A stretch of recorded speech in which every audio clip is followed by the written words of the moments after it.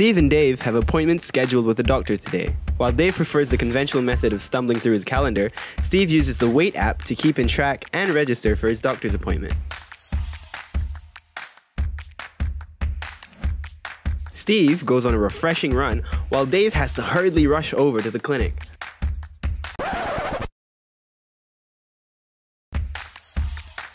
The Wait app conveniently reminds Steve of his daily medications while Dave's memory fails him yet again.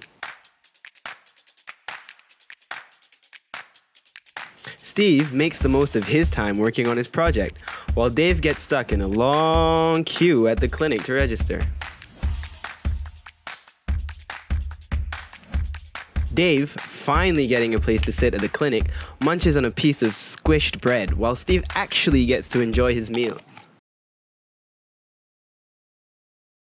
Steve gets prompted to the clinic just in time for his appointment thanks to the Wait app. Well, here he is now. Dave, well, let's just say he wasn't as lucky.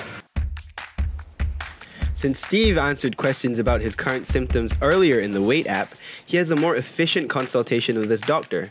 Dave, well, he seems to be having a bit of a struggle.